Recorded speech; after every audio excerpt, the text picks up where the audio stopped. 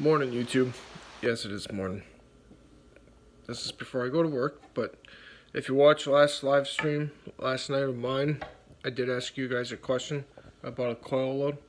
As you can see, this is on a three quarters dowel. Someone said that dowel is too big. They said a half inch dowel for HO scale. So here's my question for you guys.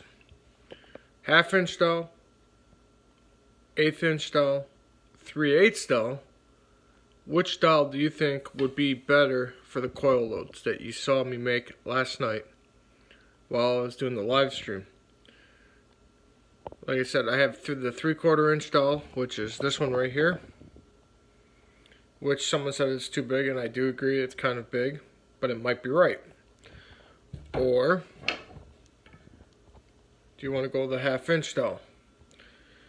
Or an eighth inch dowel or a 7 8 dowel. Which one would you like to see? Comment below. I do read the comments. I want to kind of be, I'm interested to see what dowel size you think the coil load should be.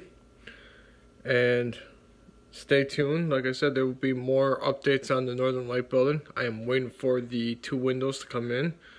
Once those come in, and hopefully start working on getting the plastic to do the movable door and the uh, light channel bar.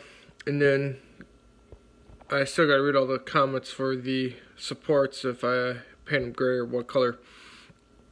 But uh, anyways hit that like hit that subscribe button if you like these videos. And always stay tuned. You never know what's gonna come around. Talk to you guys later. Bye